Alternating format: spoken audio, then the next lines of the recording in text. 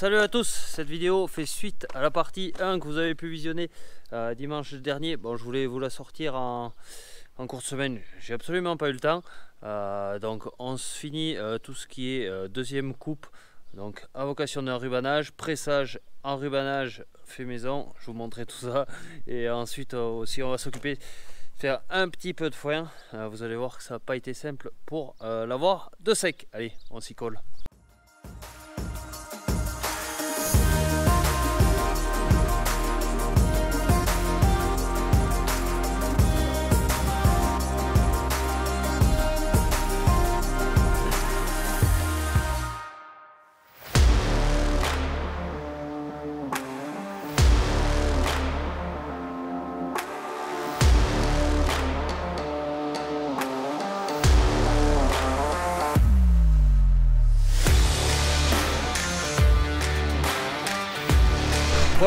De cette parcelle terminé. Bon par moment le soleil a l'air de vouloir sortir. Le fauchage a eu lieu euh, lundi, mardi ça s'est pas tourné. Là on est mercredi début d'après-midi. Fourrage tourné, fourrage qui est euh, presque comme le jour que je l'ai fauché. Donc bien bien humide. Euh, seul avantage aujourd'hui, même s'il n'y a pas trop de soleil, eh il y a un petit peu de vent. Et ce vent va permettre de soulever un peu ce taux qu'il peut y avoir présence dans les plantes. C'est bien que la parcelle est loin du bâtiment, euh, parce que sinon ce soir, euh, je serais venu vous le montrer, ça aurait changé de mine, parce que là, les jours sont quand même longs, même s'il fait pas chaud, et bien ce vent qui balaye l'herbe, et bien ça va lui permettre de, de commencer un, un début de séchage tout léger. Non, faudrait croiser les doigts euh, pour que la météo se trompe et que ce week-end il pleuve pas et là on pourrait faire du bon boulot mais euh, c'est pas gagné. il me reste une ou deux autres parcelles à tourner et ensuite ça sera terminé pour le premier fanage.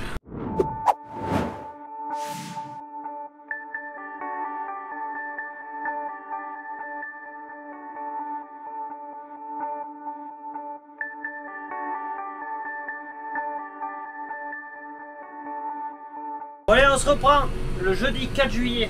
Donc aujourd'hui, journée euh, très speed, trop speed à mon âge. Du coup, on a attaqué la matinée par de la bruine, le soleil qui voulait pas se lever. Il s'est levé un petit peu timidement à midi. Donc à partir de midi, j'ai commencé euh, de tourner euh, tout ce qui est fourrage à vocation de faire du foin. Ensuite, il a fallu que je fasse une pause pour aller vendre des agneaux. Donc je suis allé vendre mes agneaux, le temps de les transporter et tout, ça m'a perdu un peu de temps. Fini de tourner mon fourrage. Ensuite, j'ai commencé l'endénage euh, des secondes coupes. Seconde coupe que j'ai fané une fois. Et là, aujourd'hui, jeudi soir, on y a laissé parendre toute la journée le maximum de soleil pour que ça perde un peu de poids. Et bien, c'est pressage et euh, par la suite, là, euh, enrubanage. Bon, j'aurais pu prendre un peu mieux la caméra avant, mais comme vous avez vu sur les différents accélérés précédemment, j'étais en mode babysitting. Donc, gérer le petit, le tracteur et tout ce qui s'ensuit. J'en avais largement assez sans prendre la caméra. Donc allez, je vais presser ça. Évidemment, on descendra un peu, voir dehors, euh, taux de préfanage. Et là, je vais faire les bottes en rubanage avec ma Pro S, la Velger RP 220. Euh, pas de couteau, mais pour la marchandise comme ça, ça me jette pas bien. Et on voit qu'elle a l'appétit.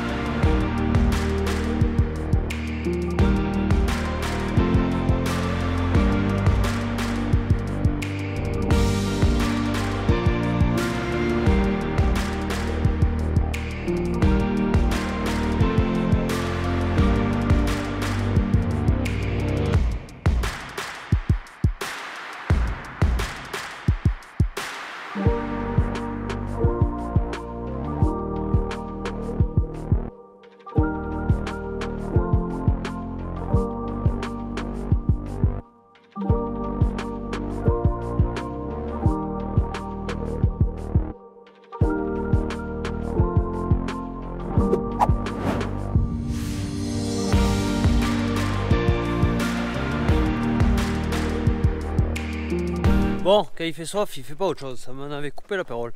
Donc, pressage des secondes coupes fait, de la partie qui était fauchée euh, terminé. Bon, il est l'heure de démarrer dans le noir le Newland et la rubaneuse, alias la machine à faire les papillotes. Donc, je pense que vous l'avez jamais vu sur la chaîne. Je vais essayer de vous filmer un peu le travail que ça fait. De toute façon, j'ai envie de dire, c'est bête et con. On fait tourner la botte, on y met du plastique on relâche la botte, ça la plante. Et terminé bonsoir. Allez go, on va aller faire ça. Il n'y a pas grande botte. Ça sera bien vite fait si ça marche. Et puis voilà.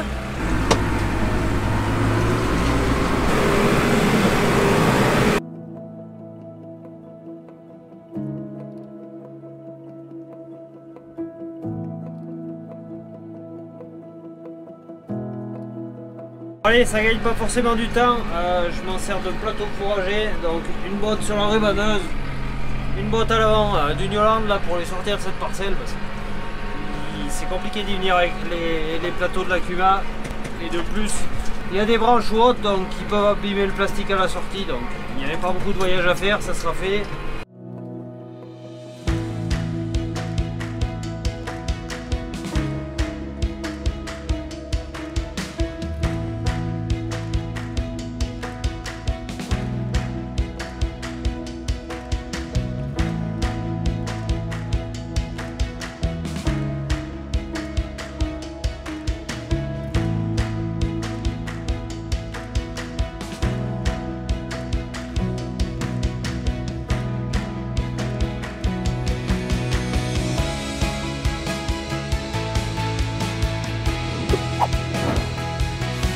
Bon allez, vendredi 5, on se reprend à bientôt 11h du matin.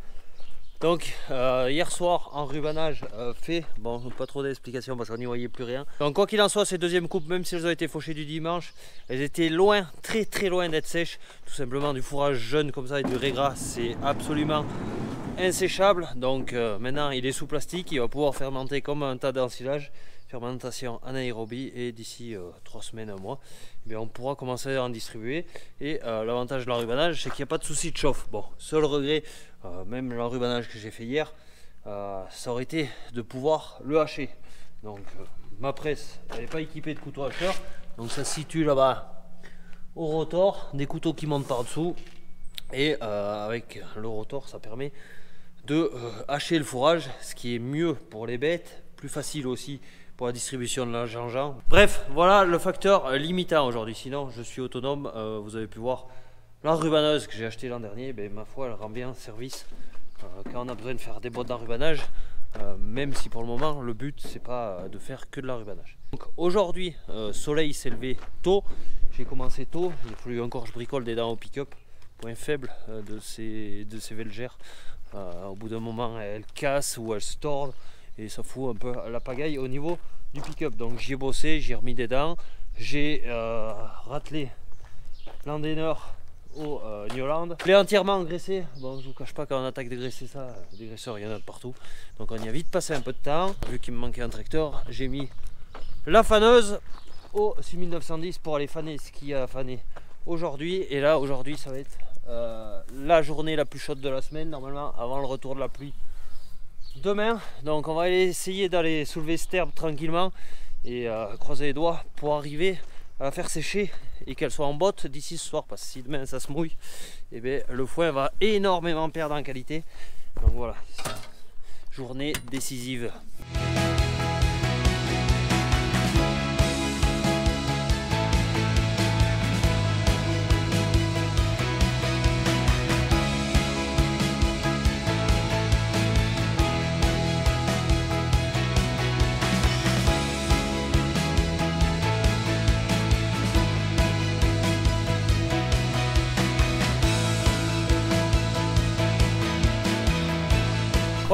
sorti un peu euh, en dehors de la cabine. Donc là, j'en suis à mon troisième fanage et le foin, il est fauché depuis 4 jours. Donc euh, aujourd'hui, il fait chaud. Bon, il n'y a pas de vent pour le moment. Si, il arrive à faire chaud. On s'en rend pas bien compte à l'intérieur avec la clim et tout. Donc, soulevage du fourrage. Vous voyez là, ça n'a pas été soulevé et là, ça a été soulevé. Donc, je sais pas si ça rend la caméra, mais euh, ça n'a pas la même mine. Si vous voulez, le fourrage tournait depuis hier, et avec la rosée et tout, il a fini de se plaquer au sol. Et au sol, si on découvre, tac, on a de l'humidité là en bas. Donc toute la partie fourrage qui touche le sol est mouillée. Et si on l'endainait comme ça pour faire des bottes de foin, eh on est sûr qu'on a des bottes de foin qui sont pas sèches et du foin collé. D'autant plus avec euh, l'année comme on a. Donc là, on le ressoulève, on re-aère, ce qui fait que le fourrage touche beaucoup moins le sol. La partie sèche passe en dessous et la partie un peu plus humide se retrouve dessus. Donc là, euh, il est midi 30 et euh, on voit que le foin est pas sec.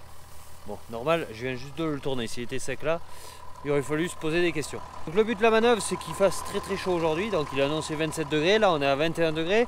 et de plus, la couleur du foin, quand elle commence à sécher, euh, elle absorbe la chaleur, j'ai envie de dire, et elle la répartit, elle la diffuse dans, le foin. Et en général, ça finit de sécher assez bien. Bon là je pense qu'il va pouvoir se presser ce soir et j'ai envie de dire même si c'est limite on va faire guerre quand même mais il va falloir le presser parce que demain il pleut. Et s'il pleut sur du fourrage qui est quasiment sec valeur alimentaire ça finit de dépérir à vitesse grand V. Et de plus après bien souvent c'est très très compliqué à faire sécher du foin qui s'est mouillé. D'autant plus que là on n'est pas forcément à côté de la ferme. Il y a 20 minutes presque de chemin donc euh, je vous dis pas le temps qu'on y passe après rien faire. Et là-bas en bas, la partie euh, au bord de la rivière, ça devrait être sec. De toute façon, il y avait point de fourrage. Grâce aux mesures qu'on ne doit pas mettre de fumier euh, ni rien au bord des rivières, et eh bien ici, mais rien, mais aussi peu, on ramasse absolument rien. Allez, je vais finir tout ça. Sinon, mais il fait un peu chaud bord. Mais là, avec la clim, je m'en rendais pas compte. Allez, on attaque. Donc là, il est midi. Euh, je vais prendre le temps d'aller manger vu que le matériel est prêt. Et le but de la manœuvre, faut avoir endélé et pressé avant que l'humidité retombe ce soir. Donc l'humidité, je ne sais pas à quelle on va retomber, mais grosso modo, pressage, il devrait être fini grand maximum à 8 heures parce que sinon les zones où il y a de l'ombre, ça aura repris l'humidité et le foin ne sera plus sec, ne sera plus bon à presser. Donc voilà, on a une fenêtre météo très courte dans laquelle il faut endéner et presser. Donc c'est pour ça que l'endéneur, il y a une paire d'années, euh, je l'ai changé, je suis passé à double rotor. Ça va quand même beaucoup plus vite pour endéner et ensuite il me reste plus qu'à me consacrer à la partie pressage parce que le foin il est jamais sec à midi. Il est toujours sec en fin de journée quand, le soleil y a bien donné dessus c'est pour ça que des fois il y a l'équipement en conséquence pour arriver à capter du foin sec et arriver à faire un petit peu de surface euh, quand même en même temps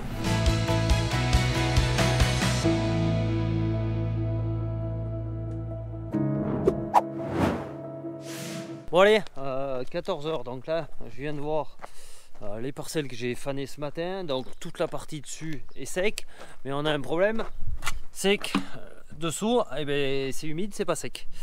Donc je vais pas aller repasser la faneuse parce que c'est pas la peine, j'aurai pas le temps de repasser la faneuse, endéner et presser d'ici ce soir. Donc là je vais aller le mettre en andin, je vais le laisser un peu en andin vu que j'ai un peu de surface à faire. Et après, soit c'est sec et on presse, soit c'est pas sec et on les laisse en andin euh, comme ça. Vu que demain il est annoncé orage, et bien si ça veut prendre l'orage, et bien ça le prendra en andin. Mais au moins le fourrage ne sera pas étalé sur toute la surface et je pense qu'il s'abîmera un peu moins. Bon, ils annoncé du 27 degrés, ben ça arrive pas. On est à 24, 25. Par moment il y a un petit peu de vent, donc c'est grâce à ce vent peut-être que je vais finir le séchage de ce foin. Bref, allez, je finis d'atteler ça et on est parti.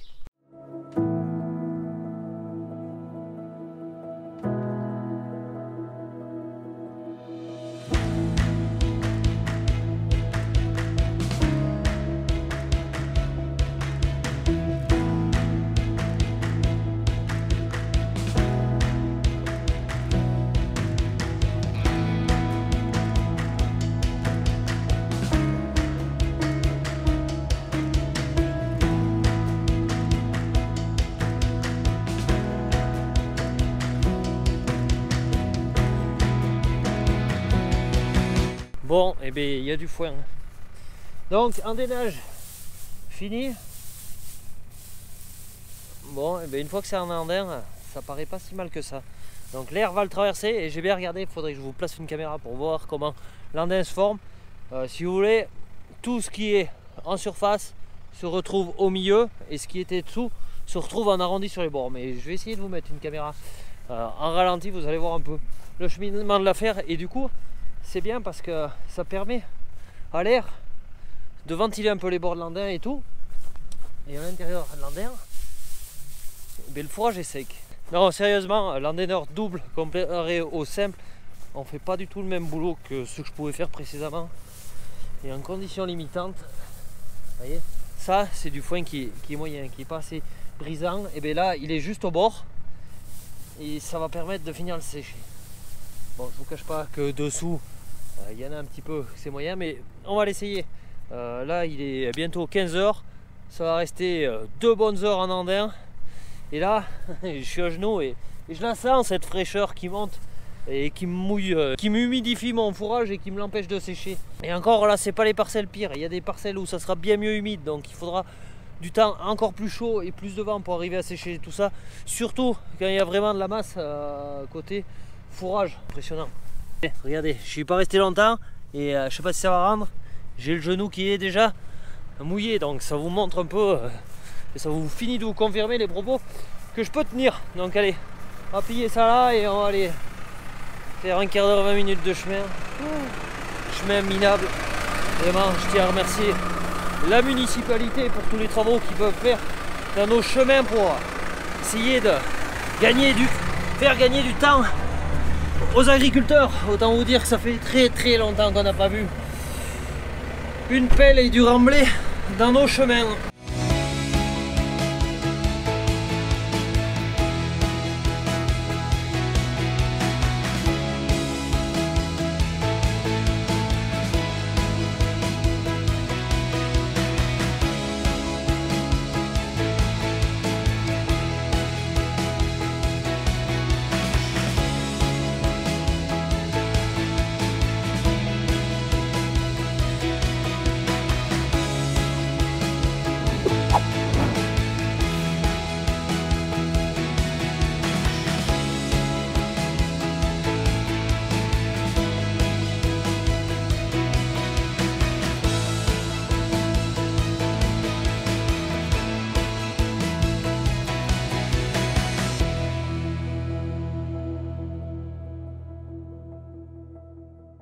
Pressage en cours, euh, je vous ai pas tout enregistré.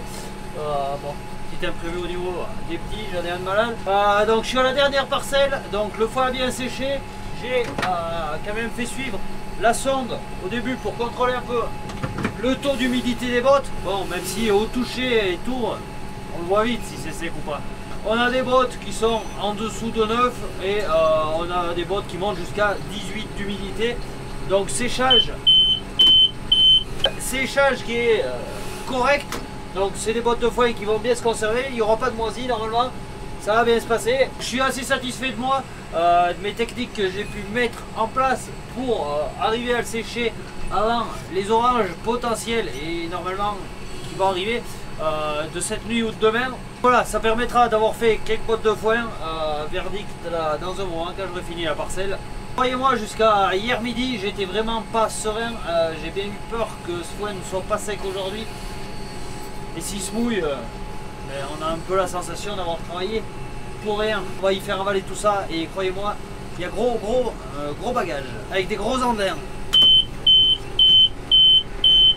Je vais mettre un scotch pour un peu passer.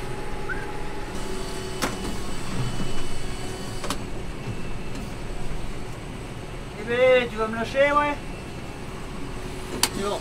Bon, le plus dur, euh, c'est de trouver un coin de plat pour pas que la botte s'en aille.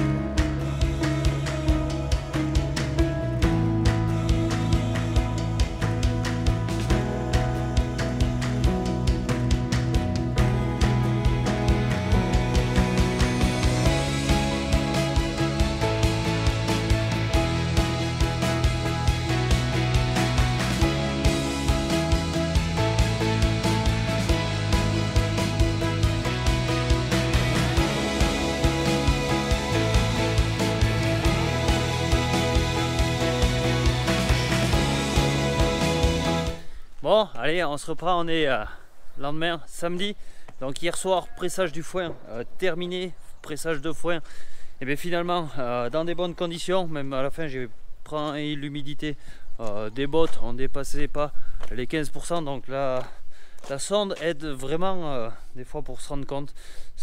On peut en avoir un peu doux en dessous de l'andin et ça peut paraître ensuite quand ça est pressé au milieu de la botte et bien pas sec et finalement non ça, reste correct donc bien content. Il s'est fait une centaine de bottes grosso modo. Du coup, les foins euh, sont démarrés. Il reste pas mal de surface à faire du foin et euh, ça s'annonce long, très très long. Donc aujourd'hui, il était annoncé pluie et tout.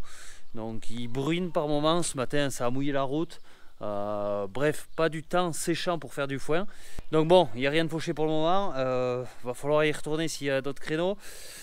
La météo est très incertaine, donc c'est pas évident. On se lance pas à grand coup à tout tomber pour, par peur de tout manquer, tout simplement. Euh, déjà que là, c'est passé euh, moins 5. Bon, s'il pleut pas mieux que ça, euh, c'est pas grave. Enfin, c'est pas grave. Le foin non plus, faut pas le laisser 10 jours au sol, sinon, au bout d'un moment, c'est le fait de trop être resté au sol qui prend pas des qualités aussi. Là, je vais aller m'occuper des bêtes. J'ai des bêtes à, à tourner, de l'eau et tout. et ensuite, je vais, si le plateau est disponible, je vais commencer rentrer l'enrubanage et s'il fait pas du temps à faucher, ben, on va rentrer. Euh, ces bottes une fois qu'elles si elles se mouillent pas mieux du bord évidemment parce que si elles sont mouillées on va pas rentrer des bottes mouillées. Euh, ça va de soi et, puis voilà. C'est du temps pas bien chaud pour, un, pour un mois de juillet quoi. C'est du temps d'automne ouais. Bon voilà. Euh, on en reste là pour cette vidéo. La suite de ce qui s'est passé euh, cette semaine, et eh bien, dans une prochaine vidéo. Là, toujours pareil, euh, si j'ai le temps, je vous la sortirai dès que je peux. Mais bon, dimanche prochain, sur avant, si affinité. Bref, on verra tout ça. Quoi qu'il en soit, si la vidéo vous a plu, n'hésitez pas à vous abonner, liker, commenter, partager. Est-ce qu'il faudra bien y arriver un jour aux 100 000 abonnés, non? Qu'est-ce que vous en pensez? Allez, ciao, bye bye.